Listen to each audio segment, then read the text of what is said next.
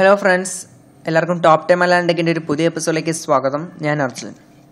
അപ്പോൾ ഇന്നത്തെ ഇവിടെ ഞാൻ ഇവിടെ എത്തിയിരിക്കുന്നത് നമ്മൾ പബ്ലിക് വൈഫിൽ ഒളിഞ്ഞു കിടക്കുന്ന കുറച്ച് അപകടത്തെ കുറിച്ച് നിങ്ങൾക്ക് പറഞ്ഞു തരാൻ വേണ്ടിയാണ്. അതായത് നമ്മൾ പബ്ലിക് വൈഫൈ നമ്മൾ ഒരു ഫ്രീ ആയിട്ട് നെറ്റ് കിട്ടുന്നതെന്ന് അറിയുകയാണെങ്കിൽ ആരാണെങ്കിലും ഒരു പബ്ലിക് വൈഫൈയിൽ കണക്ട് ചെയ്യും. അല്ലെങ്കിൽ ഒരു ഓപ്പൺ വൈഫൈ നമ്മൾ കണക്ട് ചെയ്തിരിക്കും. പക്ഷേ അതിൽ ഒളിഞ്ഞിടക്കുന്ന ധാരാളം അപകടങ്ങളുണ്ട്. അതാണ് ഇന്നത്തെ ഇവിടെ ഞാൻ ഇന്ന് പറഞ്ഞു തരുന്നത്. അപ്പോൾ ആദ്യം തന്നെ നോർമലി നമ്മുടെ ഫോണിൽ നിന്ന് നമ്മളൊരു കാര്യം സെർച്ച് ചെയ്യുമ്പോൾ അല്ലെങ്കിൽ നമ്മുടെ പാസ്വേഡ് അടിക്കുമ്പോൾ അത് നടക്കുന്നതാണ് ആദ്യം തന്നെ ഞാൻ കാണിക്കുന്നത്.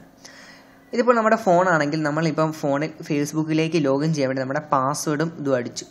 ഇപ്പോൾ നമ്മൾ ഫേസ്ബുക്കൊക്കെ ലോഗിൻ ചെയ്ത് നമ്മുടെ പാസ്വേഡൊക്കെ അടിക്കുന്ന സമയത്ത് നമ്മുടെ ഫോണിൽ നിന്ന് നമ്മുടെ നമ്മുടെ ഫോണിലെ ഇന്റർനെറ്റ് ആരാണോ പ്രൊവൈഡ് ചെയ്യുന്നത് അതുവഴി സെർവറിലേക്കായിരിക്കും ആ റിക്വസ്റ്റ് പോവുക.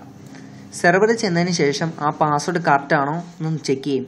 അതിനുശേഷമായിരിക്കും സെർവറിൽ നിന്ന് തിരിച്ച് നമുക്ക് ഡീറ്റെയിൽസുകൾ വരിക. തിരിച്ച് നമ്മുടെ ഫോണിലേക്ക് ഇതനുസരിച്ചുള്ള ഔട്ട്പുട്ട് വരിക.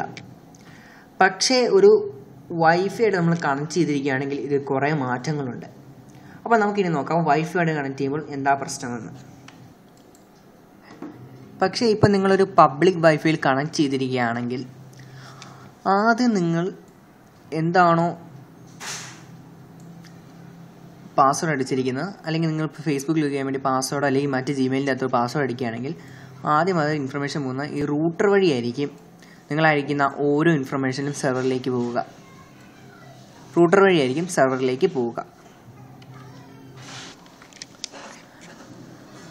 അതിനുശേഷം നിങ്ങൾ സെർച്ച് ചെയ്തതിനനുസരിച്ച് അല്ലെങ്കിൽ നിങ്ങൾ ഫേസ്ബുക്കിൽ പാസ്വേഡ് ഇപ്പോൾ അടിച്ചിരിക്കുന്നതെങ്കിൽ ആ പാസ്വേഡ് ശരിയാണെന്ന് ആദ്യം ഇവിടെ ചെക്ക് ചെയ്ത ശേഷം തിരിച്ച് ഇൻഫർമേഷൻ നൽകുന്നു.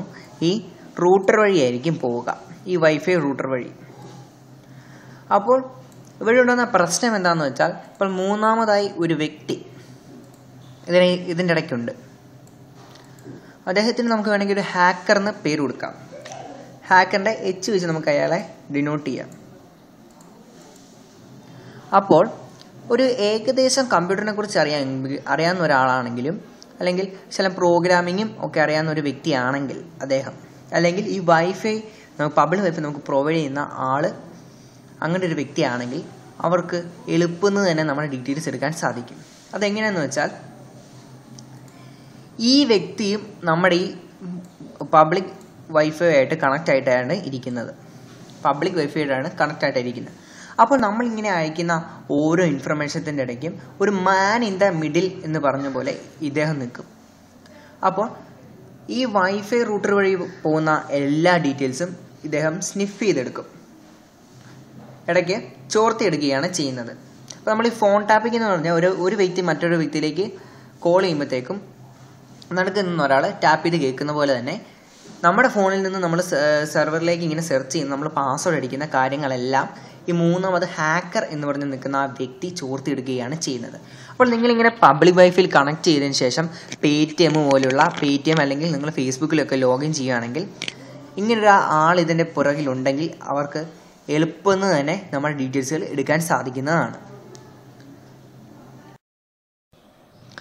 അപ്പോൾ രണ്ടാമത് ഞാൻ ഇവിടെ പറഞ്ഞിരുന്നത് H T T P and H T T P S എന്താണെന്നും അതിന്റെ നിങ്ങൾ സൂക്ഷിക്കേണ്ട രണ്ട് മൂന്ന് കാര്യങ്ങളാണ് ഇന്നത്തെ പിന്നെ ഞാൻ പറഞ്ഞു തരുന്നത് എച്ച് ഡി ടി പി എന്ന് പറഞ്ഞാൽ ഹൈപ്പർ ടെസ്റ്റ് ട്രാൻസ്ഫർ പ്രോട്ടോക്കോൾ ആണെന്നാണ് എച്ച് ടി ടി പിയുടെ full form H T T P S എന്ന് പറഞ്ഞാൽ hyper text transfer protocol security എന്ന് പറഞ്ഞാണ്. അപ്പോൾ നിങ്ങൾ നോർമലി ഫേസ്ബുക്കിന്റെ ഒക്കെ നോക്കുകയാണെങ്കിൽ നമുക്ക് കാണാൻ സാധിക്കും H T T P S ആണ്. കാരണം അതിന് സെക്യൂരിറ്റി കൂടുതലാണ്. അപ്പോൾ നിങ്ങൾ എച്ച് ടി ടി പിയിലുള്ള വെബ്സൈറ്റുകൾ നിങ്ങൾ കഴിവതും നിങ്ങളുടെ ഫേസ്ബുക്കിന്റെ പാസ്വേഡ് കൊണ്ട് കണക്ട് ചെയ്യാതെയും ലോഗിൻ ചെയ്യാതെയും ഇരിക്കുക. ഇപ്പോൾ നിങ്ങൾക്ക് ഒരു വെബ്സൈറ്റ് ഉണ്ട് എച്ച് ടി ടി പിയിലാണെങ്കിൽ നിങ്ങളത് എച്ച് ടി ടി പി എസിലേക്ക് കൺവേർട്ട് ചെയ്യുക.